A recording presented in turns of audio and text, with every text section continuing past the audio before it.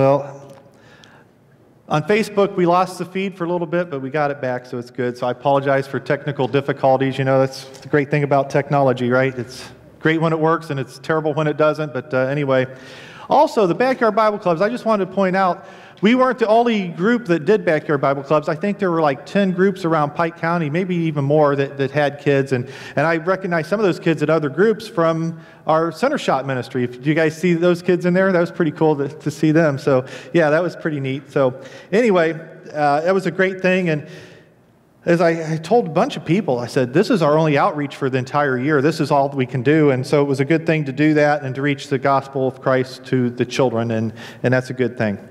So, this morning, we're beginning a new sermon series in the book of Ephesians. And we've been in a sermon series in Psalms since April. And when we began that series in Psalms that we just finished last week, I went there because of what we were going through as, as a church, what we were going through as a community, what we were going through as individuals, you know, all this stuff that, that had started back in, in March. You know, we was going through this lockdown and all of that.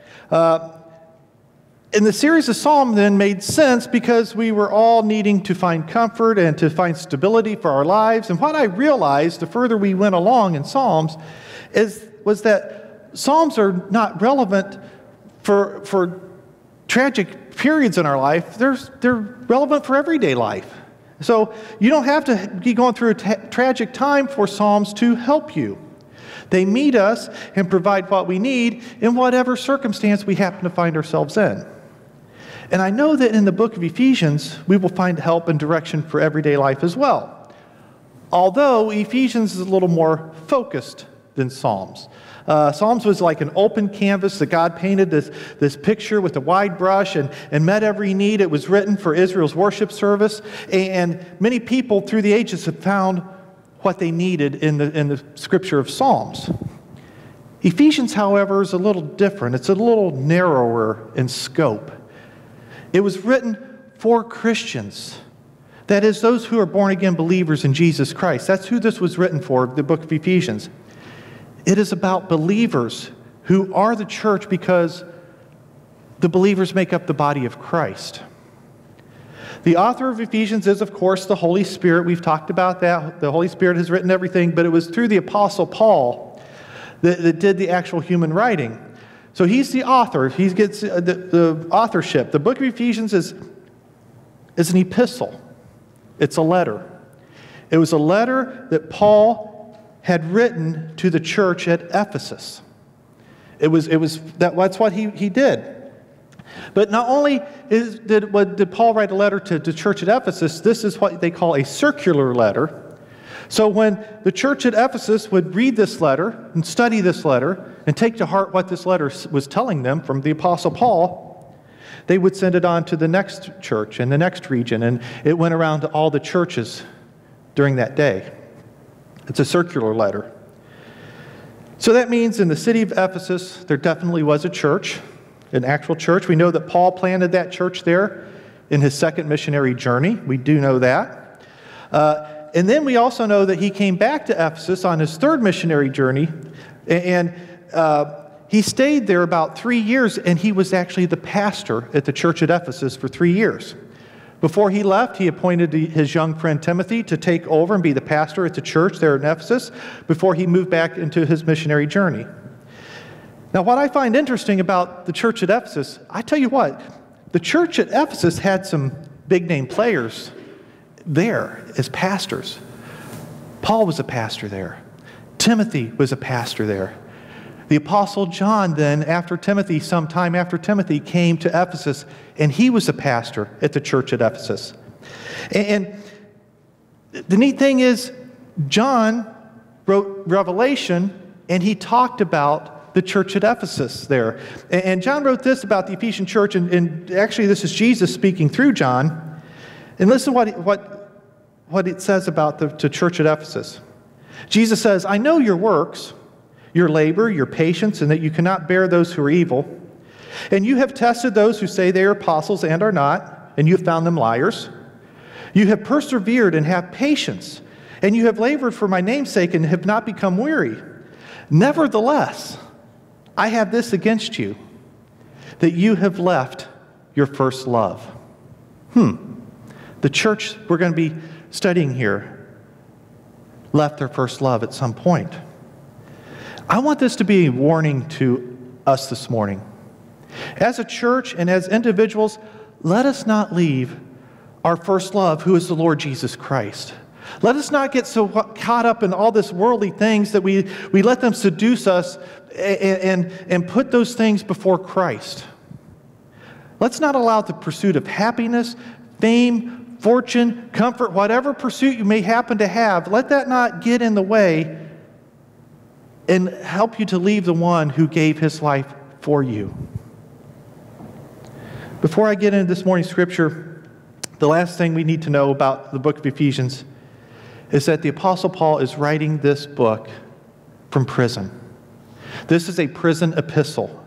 He was in prison, and I tell you that because as we go through this book, as we, as we read each verse and we study verse by verse, and as we get through that, just think about Paul's mindset.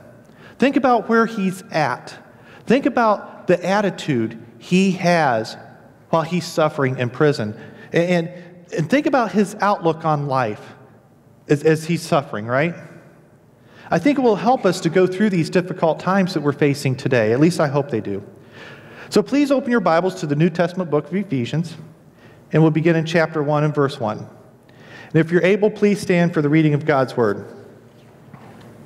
And I'll be reading from the New International Version.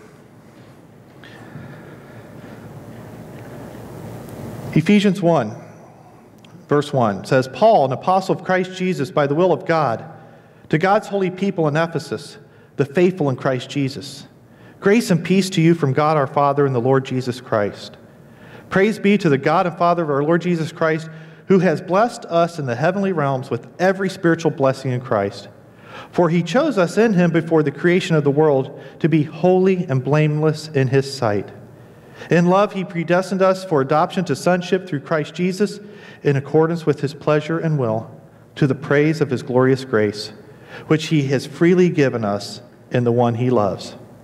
In him we have redemption through his blood, the forgiveness of sins, in accordance with the riches of God's grace that he lavished on us. With all wisdom and understanding, he made known to us the mystery of his will, according to his good pleasure, which he purposed in Christ, to be put into effect when the times reach their fulfillment, to bring unity to all things in heaven and under and on earth under Christ in him we are also chosen, having been predestined according to the plan of him who works out everything in conformity with the purpose of his will, in order that we, who were the first to put our hope in Christ, might be for the praise of his glory. And you also were included in Christ when you heard the message of truth, the gospel of your salvation. When you believed, you were marked in him with a seal, the promised Holy Spirit, who is a deposit guaranteeing our inheritance until the redemption of those who are God's possession to the praise of his glory. Let's pray. Heavenly Father, we thank you for your word. We thank you, Lord, for the book of Ephesians that, Lord, help us as individuals, help us as a church. Lord, I pray that uh, you, you open our hearts and our minds to what you have to say to us today. Lord, that you, you bring some understanding and some of that wisdom to us this morning. And Lord, if there's anyone here who doesn't know you, I pray that they don't leave here without coming to know you as their Lord and Savior. We give you all the praise and thank you, Lord, for all the blessings you bestow on us. In Jesus' name I pray. Amen. You may be seated. So, as we begin here in verse 1, we see that Paul is indeed the author, and it was written to believers. Paul calls them God's holy people in Ephesus, the faithful in Christ Jesus. And as in many of Paul's letters, the greeting is kind of the same. He says, Grace and peace to you. And the word grace here is, is means favor from God the Father and our Lord Jesus Christ. And peace is the harmonious relationship we can have with one another as well as with God. So, grace, favor on you from God, and peace, peace with one another and from God. And peace is also given by God the Father and the Lord Jesus Christ. Now, just those two words, grace and peace, right? We as believers have received these two things. We have received grace and peace and, and those two words have a, because we have those two things, we have a lot to offer to people around us. I mean, how huge would it be for someone who needs it today to find and receive grace and peace? The people who are confused and upset need grace and peace, right? Those rioters that are uh, bent on destruction, believing that all they can do is tear things down and to solve the problems of our country, they need grace and peace. What I mean is, these two simple words that Paul uses to begin his letter is what people need today. Two little words that we just gloss over as we begin reading this letter is what people need to have a changed heart and to have changed lives grace and peace. And, and because of that, this morning's message is called Oh, What a Blessing. Oh, what a blessing. And it's obvious as we begin the study in Ephesians that Paul wants to make his readers aware that God blesses his people. We are blessed in so many ways. And I'm afraid we take it for granted. And here's the thing I'm just as guilty as anybody else, right? Of taking for granted the blessings that God has, has given us. Tell you what, I love it. That's why I love when somebody gets saved, right? There's an excitement about them, there's an excitement in their life. They're, they're excited because they realize what they have been saved from, and they're excited about that. They're excited because they now have blessings in their life that they never have ever had before. It wakes people up and it brings, you know, when somebody gets saved in our congregation and, and we see the excitement, and it wakes us up and brings to memory to all of those who have been believers for years what a blessing it is that Jesus saved us. God's blessings are not always tangible. And that is, they're not, not always things we can, we can see. They're not always things we can, can hold. They're not things we can put in our pockets but they're amazing blessings nonetheless. As I said, this is a prison epistle. And he was in prison. I believe what Paul was thinking about when he was in prison, you know, he had time to think about such things. And, and he thought about all the most important ways that God blesses his people. And one of those blessings is that they are chosen. They are chosen. Verse 3 Praise be to God and Father of our Lord Jesus Christ, who has blessed us in, every, in the heavenly realms with every spiritual blessing in Christ. For he chose us in him before the creation of the world to be homely and blameless in his sight. If you are a born again believer in Jesus Christ, then it says here in chapter 1 you have been blessed with every spiritual blessing in the heavenly realms, and these spiritual blessings far outweigh the physical blessings we can receive. Our salvation is a much greater blessing than if God blessed us with a million dollars apiece. Because physical blessings are temporary, but spiritual blessings are eternal. And the amazing thing about the spiritual blessings is that not only are, are we chosen to be God's children, but He, he chose us to be that way before He set one brick in the foundation of the world. Before one atom was created, He chose us in Him. This means he didn't look at us to see if we're worthy to be saved. He didn't wait to see if we're going to be really good or really bad people. In our salvation, He did it all from beginning to end. And it didn't depend on any of us or any part that we played in it. Before He created anything, He said, Brent, I'm going to save you. Now, there's a lot of discussion about being chosen and election and predestination and all those theological terms that we can come up with. And, and I've talked about this before as well. But listen, if God wouldn't have chose any of us, we wouldn't have looked to him to be saved. It says here in the book of Isaiah, it says, We all like sheep have gone astray. We have turned everyone to his own way, and the Lord has laid on him the iniquity of us all. We're all guilty. We all stray. We all don't look for God. It says so in Romans 3. It says Romans 3:10, as it is written, there is no one righteous, not even one. There is no one who understands. There is no one who seeks God. All have turned away. They have together become worthless. There is no one who does good, not even one. Now, having, having said that and backed up that assertion with Scripture here, the Lord is not going to save anyone against their will. That is, even though a person is chosen, it's a person's responsibility to believe. God chose you to be saved through belief in the truth. Second Thessalonians says, because, because God chose you, Second Thessalonians 2.13 says, because God chose you as firstfruits to be saved through the sanctifying work of the Spirit through the belief in the truth. As a matter of fact, right here in, in, in chapter 1, verse 13, it says, And you were also included in Christ when you heard the message of truth, the gospel of your salvation. When you believed, you were marked in him with the seal of the promised Holy Spirit. So, does God do all the work in our salvation? Yes. Does God elect people and predestine them to be saved? Yes. Do I, so then, do I have any responsibility on my part in order to be saved? Yes. You must believe the gospel. I've used this illustration before, but it comes from good old J. Vernon McGee. If you've ever listened to him or heard him or watched him or read any of his books, he says the moment of our salvation is like a gateway with an arch. Okay? On this side of it, above the arch, it says, For whosoever will. For whosoever will. You hear the gospel, you believe the message, you walk through that gate of salvation, and you turn around and you look back, and on this side of the arch it says, Chosen from the foundation of the world. That's a good illustration. Let's face it, however you look at it, however, whatever you believe, this doctrine of theology, whatever you think about that, the fact remains that our salvation is a blessing and it's an awesome thing. Amen. It's an awesome blessing. Another way believers in Christ are blessed is they are family. Not only they're they chosen, but they are family. Verse 5 In love, he predestined us for adoption to sonship through Christ Jesus in accordance with his pleasure and will. I think as believers, I think sometimes here's where we fall short of, of, of understanding the blessings we have uh, when we become believers.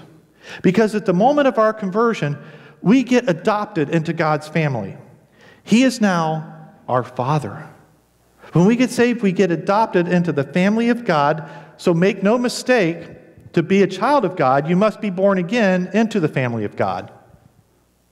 Now, under Roman law, during the time that this Paul had, had wrote this, an adopted son enjoyed the same status and privileges as a real son, and it's that way today. When a couple adopt a child, that child has just as much legal rights as any natural born child into that family. Adoption into God's family is the act of God by which his born ones have an adult standing in the family. He does this so that we can receive the blessings of being his child here and now today. And I think that's where we fall short. We come up, we, we, we don't understand that. We have the blessings of being in God's family, and we get those blessings here today. But, you know, Here's the thing sometimes we forget we are God's children. We have all the rights as well as all the responsibilities that go along with being His child. We sing a song, No Longer Slaves. And I believe the writer of this song, this, this song uh, was writing in part about Ephesians chapter 1. It's, the, the song goes, and here's a verse it says, From my mother's womb you have chosen me, love has called my name. I've been born again into a family, your blood flows through my veins. I'm no longer a slave to fear. I am a child of God. That's right, what we're talking about right there, that verse. American Express, if you ever remember the old American Express commercials, used to say uh, membership has its privileges. And so does being a child of God. Don't forget that. Being a child of God, you get privileges, and, and privileges and benefits we can use today. But as I said, just being a son or a daughter in God's family also means we have responsibilities too. As God's children, let me just say this we need to act like it, we need to talk like it. We've been going over this a few weeks too. Especially during this time of unrest and uncertainty in our country, God's children need to act a little different, right? We need to be different than the people around us. And as members of, of God's family, where, where we get these benefits, we need to help grow that family. We need to help grow the kingdom, God's family. We want everyone we know to become part of God's family because we know that it will help grow the kingdom. It will help them and in doing so, our Father will be pleased with us. How, mu- how much do we want to please our Father, right? Helping to grow the kingdom pleases our Father. It's a blessing. We're family. Another blessing uh, believers receive is that they are recipients of grace. Verse 6 To the praise of his glorious grace, which he has freely given us in the one he loves.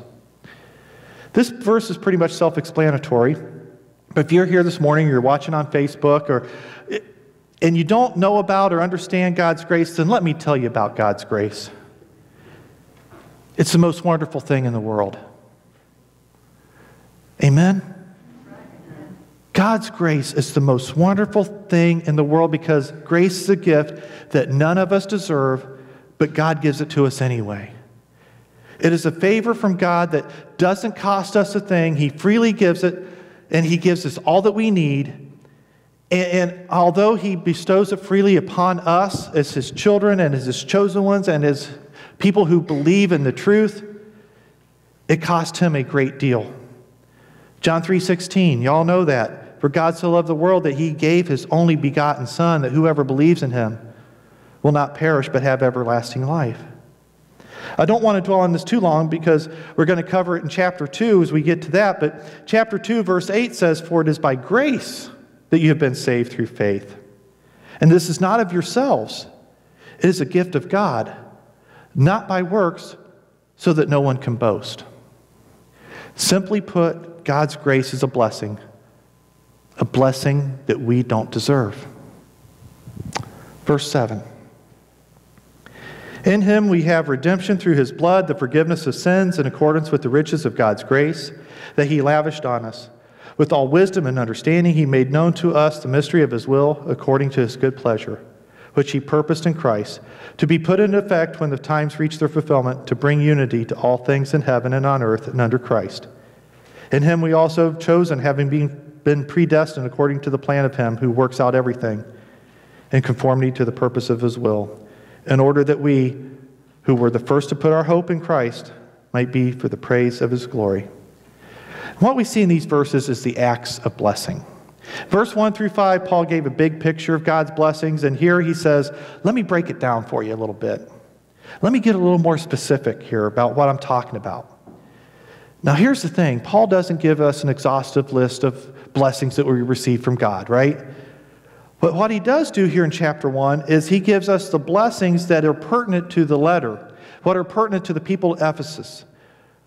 And although this became a circular letter and is read in other churches and eventually became scripture for us today, it was still personal to the people at the church of Ephesus.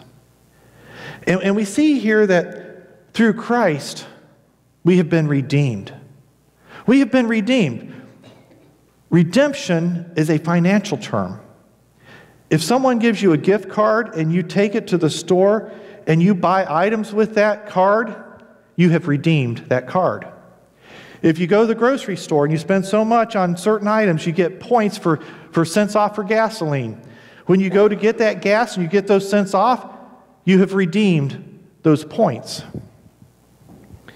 So, the biblical idea of redemption, following along those lines, it has a certain financial aspect to it, but it also has a view of slavery.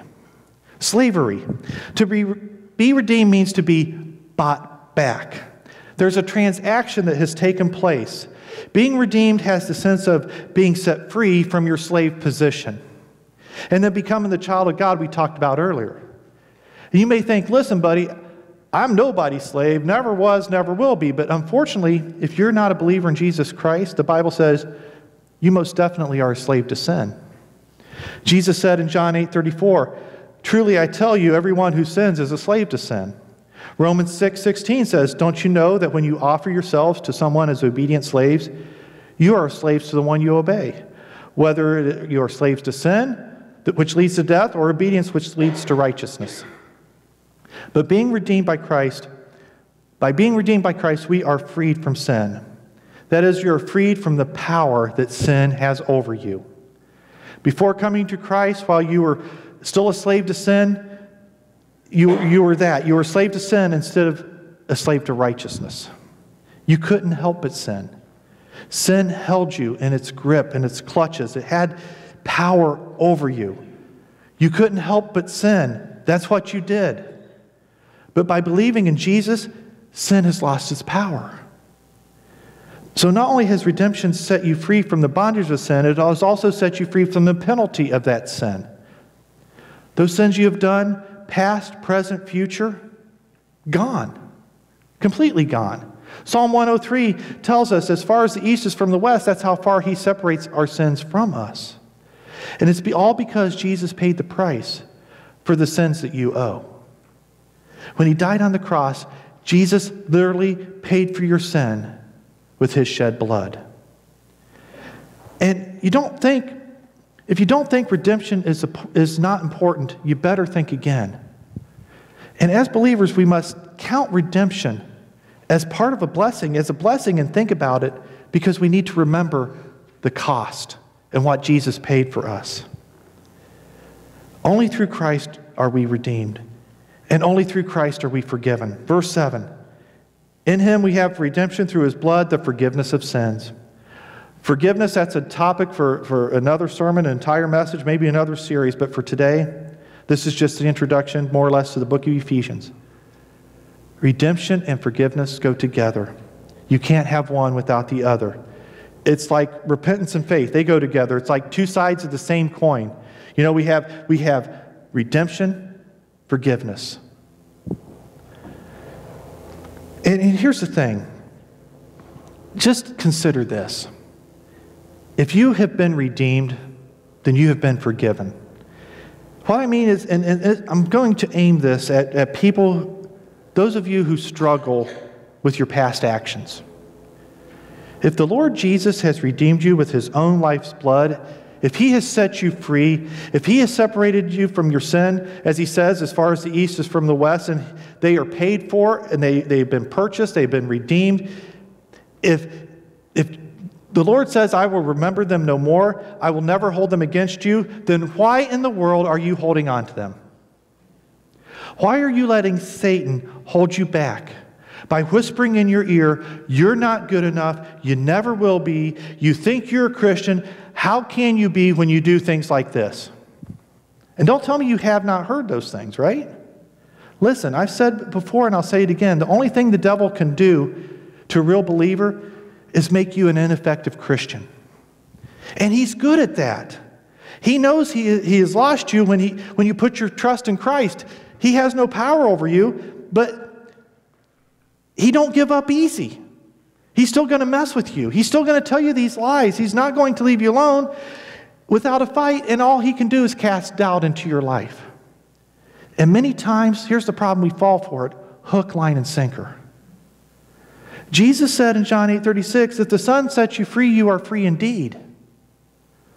So let it go and get on with your Christian walk, get on with your Christian life, become mature believers, grow in the grace that God has given you.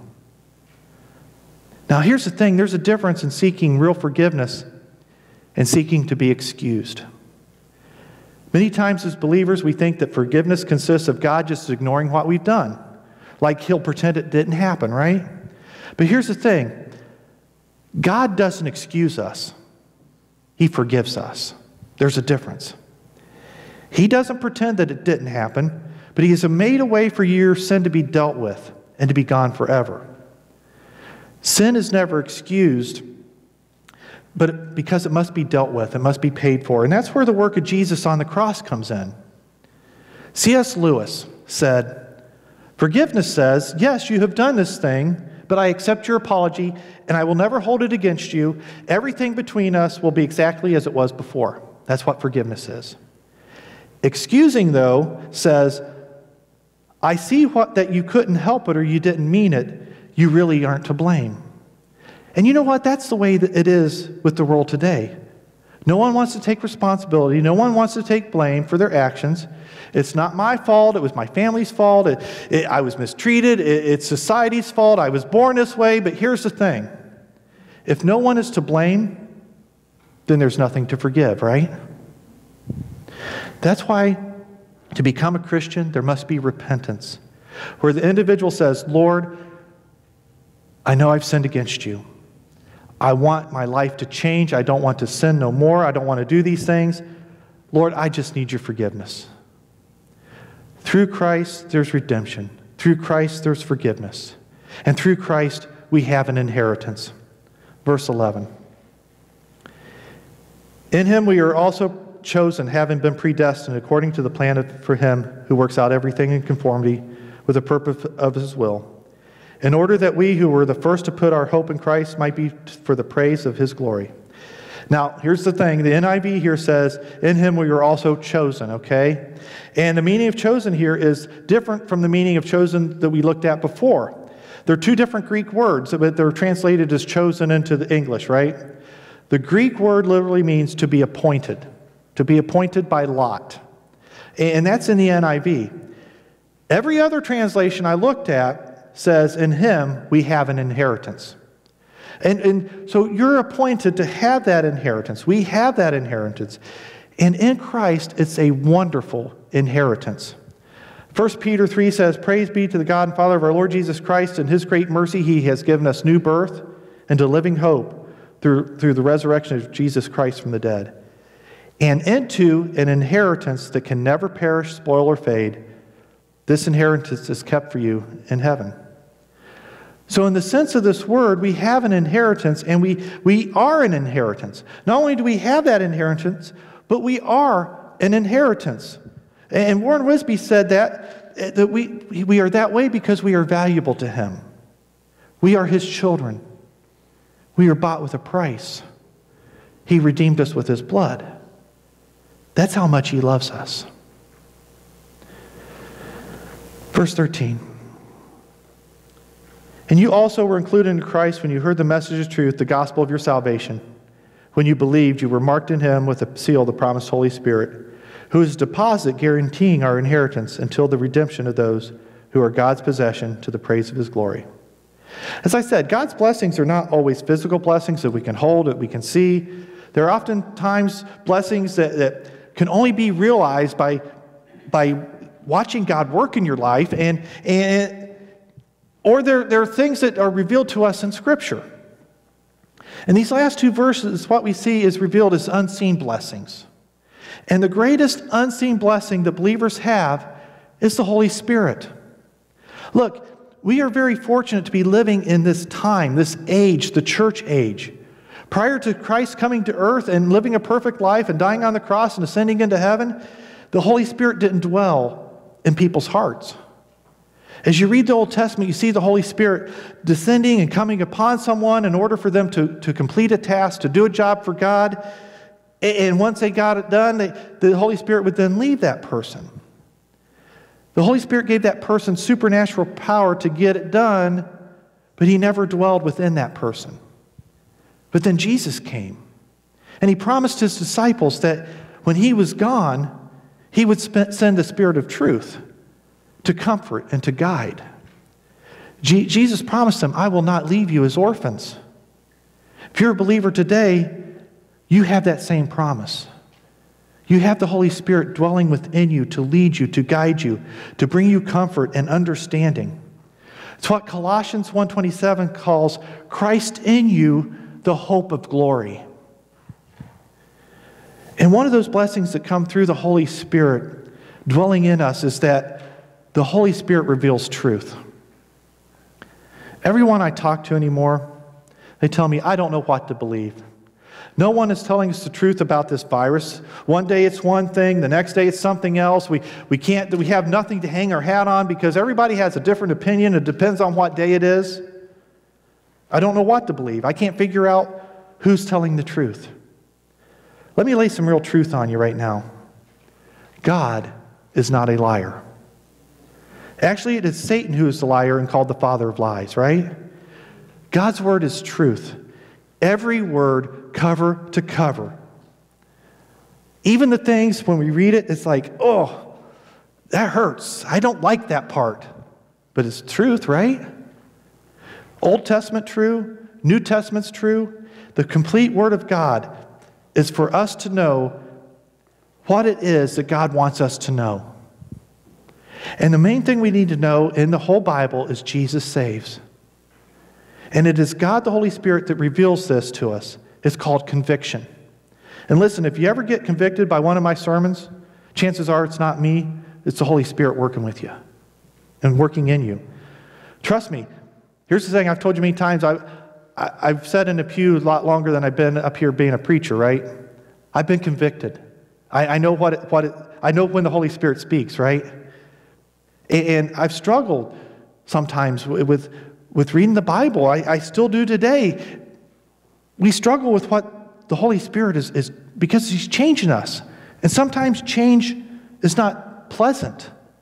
And it's like, man, I, I don't really want to do that, Lord. But then the Holy Spirit says, you go ahead and do that. I struggle with it, you know, certain passages in the doctrines as well. I've struggled with those, you know, and I, like I said, every time I read and, and I study, I struggle with some passages. But just keep reading, keep studying, and the Holy Spirit will help you and give you the understanding. But understand, though, the Holy Spirit will not do those things for you until you have been redeemed. You must repent of your sin and, and put your trust in Jesus Christ as your Lord and Savior. And then at the moment of your conversion, the Holy Spirit will come into your life. If you've never trusted in Jesus, if you're that person, then the first truth that the Holy Spirit gives a person is the conviction of that person you know what? You need to be saved. He tells you you're a sinner. And, and, and you will stand before God and you will be accountable for your sin someday. So you need a Savior. You need Jesus to save you. I received that blessing many years ago when the Holy Spirit called me to be saved, when I heard the gospel of truth, as, it, as we talked about today. And the day I repented and put my trust in Jesus was the most blessed day I've ever had in my life. And it can be yours today. Today is the day of salvation. You can be saved from your sin and the penalty of that sin. And when that happens, the Holy Spirit seals us. This is another thing we're going to be talking about as we go along, but the Holy Spirit seals us. All believers are sealed by the Holy Spirit. I mean, God is within us. What else can get in, right? We are sealed. 1 John 4 4 says, You dear children are from God, and you have overcome them, because the one who is in you is greater than he who is in the world, right? Satan cannot touch a child of God, he cannot possess them. You can no longer use the excuse, the devil made me do it, because sin and Satan has no power over a believer. Now, you can be tempted and you can still sin, but you no longer have to. You can say, Not today, Satan, and get along with your day, right? Been sealed. And lastly, the Holy Spirit guarantees our eternity. He guarantees our eternity. The grace that God gives is a sure thing. You can never lose it. Salvation is of the Lord. So, in that respect, He makes sure you keep it, right? The Holy Spirit dwelling in our heart guarantees that. It guarantees that your salvation and your eternity are sure. The Holy Spirit that is given to all believers is a down payment for what is to come. So it's a deposit, it's a first installment of a token payment to assure full payment will follow. I like what one commentator said. He said, For the believer, the Holy Spirit is like an engagement ring. It's great for now, right? It's great for now, but you know it will lead to a better day and a better life. Oh, what a blessing we have because of what God has done for us people. I'm telling you. This week, go back over the text we went through this morning. Then continue to read through the book of Ephesians, and I'm sure you'll be blessed. Praise team's going to come here in a minute and, and close us in a song. And, you know, we've been doing things differently. We have to uh, dismiss through the back and, and go back at, you know, as was pointed out go into the parking lot and fellowship if you want to. Can't hang out. Um, but I'm telling you what, if you want to talk about how to be saved, meet me back in my office after the service and I'll gladly talk to you. Um, we'll do that that way. Let's pray. Heavenly Father, we come before you, Lord, and we thank you for this day. We thank you, Lord, for your word. We thank you for everything, the blessings that you give. Man, uh, Lord, I apologize for taking them for granted. It's when we read your word and it's pointed out to us just how wonderful you are and just what you've given us. And, and Lord, you give it to us and we don't deserve a thing. That's how wonderful you are. Thank you, Jesus. Lord, help us to count those blessings, to consider those blessings, to remember the cost that it cost you to redeem us. And Lord, not to ever lose sight of that. Lord, help us to be a church here in Pittsfield that you want us to be. Help us through the book of Ephesians obtain that. And Lord, that we never, ever, ever lose our first love. We ask these things in Jesus' name. Amen.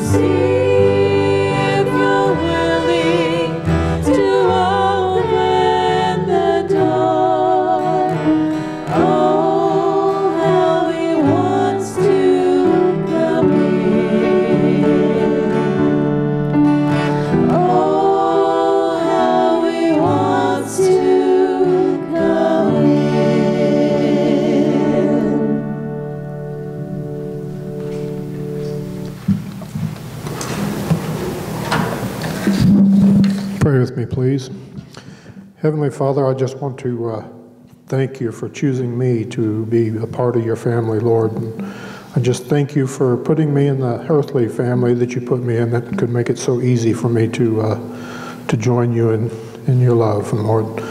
And there are so many different things that we need to pray for that uh, sometimes we just don't know the words. So I just thank you for the Holy Spirit that uh, you give us to be in our heart who can who can uh, pray for us that uh, when we don't have the words to uh, express our, our, our love and our feelings. So I just pray these things in Jesus' name. Amen.